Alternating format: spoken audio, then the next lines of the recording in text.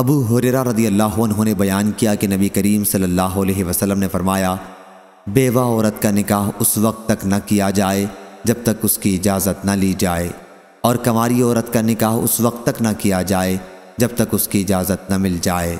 सहाबा ने कहा कि, या रसूल अल्लाह सल्लल्लाहु अलैहि वसल्लम कमारी औरत इज़्न क्यों कर देगी? आ हज़रत सल्लल्लाहु अलैहि वसल्लम ने फरमाया, इसकी सूरत यह है कि वो खामोश रह जाए ये खामोशी उसका इज़्न समझी जाएगी। सही बुखारी, हदीस नंबर पाँच हज़ार एक सौ छत्तीस।